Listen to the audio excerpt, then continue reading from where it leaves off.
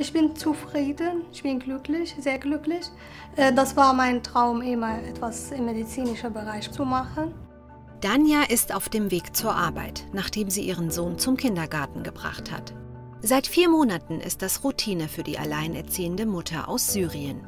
Ich bin sehr stolz auf mich. Ich mache im Moment eine Ausbildung bei AVM für Arbeits- und Betriebsmedizin und äh, wir machen ganz verschiedene Sachen, zum Beispiel wie Hörtest, Sehtest, Dämmerungssehtest und äh, EKG.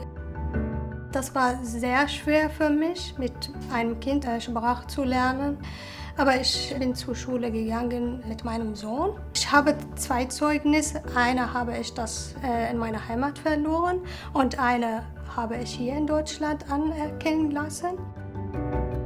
Laut Arbeitsmarktstudien sind gerade einmal 5% der geflüchteten Frauen zwei Jahre nach der Ankunft in Deutschland in einem Arbeitsverhältnis. Dabei ist der Fach- und Führungskräftemangel in vielen Unternehmen deutlich spürbar. Gleichzeitig gibt es viele Frauen mit Migrations- und Fluchtgeschichte, die gut ausgebildet und qualifiziert sind. Ein großes Potenzial für Wirtschaft und Gesellschaft, das noch kaum genutzt wird.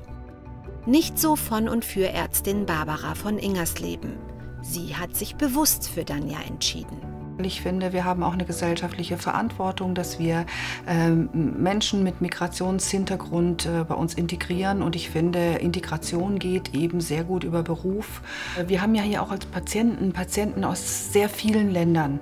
Und äh, deswegen finde ich, passt das auch gut. Das bereichert natürlich auch so eine, so eine Praxis. Und ich finde auch äh, die Außendarstellung äh, der, gegenüber den Patienten, gegenüber den Kunden. Ich kann allen Unternehmen nur empfehlen, aus diesen mehreren Kulturen sich Mitarbeiter äh, zu suchen und Mitarbeiter zu beschäftigen, die dann ihre Erfahrungen, ihre Sprachen, ihre ganz andere Sichtweise nochmal auf die Welt integrieren. Fachkraft und Betrieb zueinander gebracht hat die Migrantenorganisation Migration und Arbeitswelt e.V. im Rahmen des IQ NRW Teilprojektes Öffnungszeiten des bundesweiten Förderprogramms Integration durch Qualifizierung. Der Verein berät kleine und mittelständische Unternehmen rund um die Themen Diversity und Fachkräftegewinnung und begleitet Frauen mit Migrations- und Fluchtgeschichte bei der beruflichen Orientierung.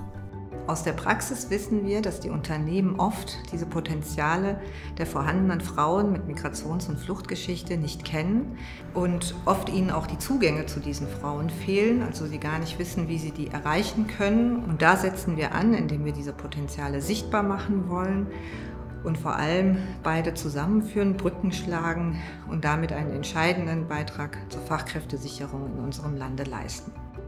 Das Beispiel zeigt, so geht's. Ich bin also sehr glücklich, dass ich die Damen von Migration und Arbeitswelt getroffen habe.